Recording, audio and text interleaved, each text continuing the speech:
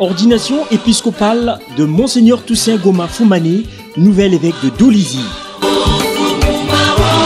Ce dimanche 31 juillet 2022 à 9h30 au stade Paul Sayal Moukila.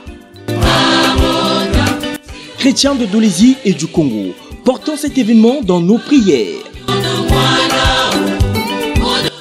Consécrateur principal, le cardinal Dieudonné Nzapalainga, archevêque métropolitain de Bangui en RCA. Dolisie, Kununave.